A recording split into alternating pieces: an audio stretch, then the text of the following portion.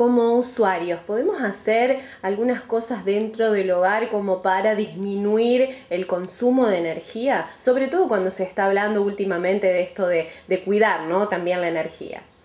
Bueno, para cuidar la energía este, eh, hay que gastar lo menos posible, digamos. Entonces, si un aire acondicionado está a 19 grados es una cosa, si va a enfriar una habitación a 19 grados, si lo va a enfriar a 25 es otra cosa, es otro el momento que va a trabajar.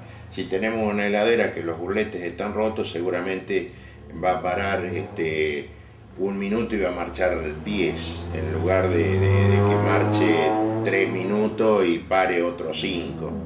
Eh, y así, este, si tenemos un freezer que usamos este, como heladera, digamos, abriéndolo a cada rato, seguramente va a trabajar más ese freezer que si lo usáramos correctamente, o sea, estacionando ahí cosas que enfriamos a una temperatura bastante baja durante un tiempo X, digamos, no es para abrir y cerrar, ¿no es cierto? Y así sucesivamente. Un pasto, por ejemplo, una cortadora de césped eléctrica que ahora bueno se están usando menos, ¿no? Eh, se usan mucho las de combustión interna o de nafta. Este, una cosa es hacer un recorte de un pasto con una altura normal y otra es meter lo que la máquina continuamente se esté frenando. Además de peligrosa, estamos gastando una enormidad de corriente.